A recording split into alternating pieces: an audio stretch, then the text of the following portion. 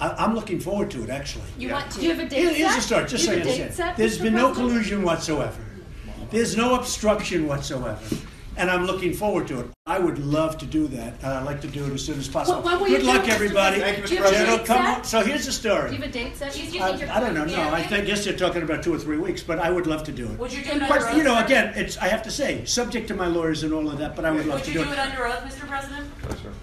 You mean like Hillary did it under, who said that? I said that. Oh. Would you do it under oath? Uh, oh, you said it, you did say, it. you say a lot. Did Hillary do it under oath?